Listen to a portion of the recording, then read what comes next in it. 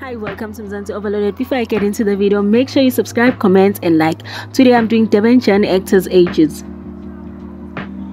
Firstly, I have Lizwi Ndumo who plays Lwandle and she's 11 years and she was born in 2011. Secondly, I have Meshack Mavuso, who plays Thabo Dlamini, he was born on the 8th of April in 1977, which makes him 45 years this year. He is from Limpopo. At number 3, we have Tidi Makitle, who plays Nes Pumezasbia. She was born on the 17th of August in 1998, which makes her 24 years this year. She is from Pinetown in KwaZulu-Natal.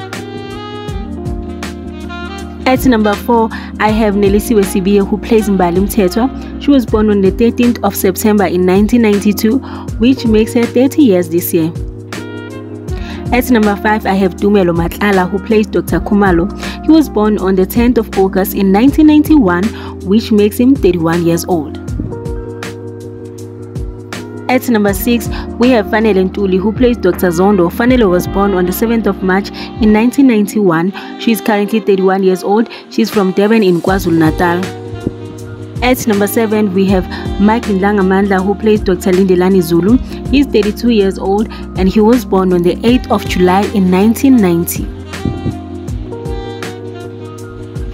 At number 8, we have Nombulelo Mhlongo, who plays Nemjali. She's 30 years and she was born on the 9th of May in 1992. At number 9, we have Beki Sizwe Mahlawe. He was born on the 1st of March in 1990, which makes him 32 years this year. He is from KwaZulu-Natal and he plays Calvin.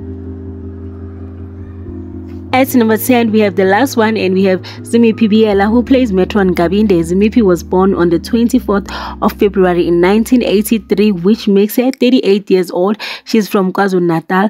Thanks for watching till this far and I hope you like my content and you are subscribed to become a member of the family and I also hope you like other videos. Thank you so much. See you next time. Bye.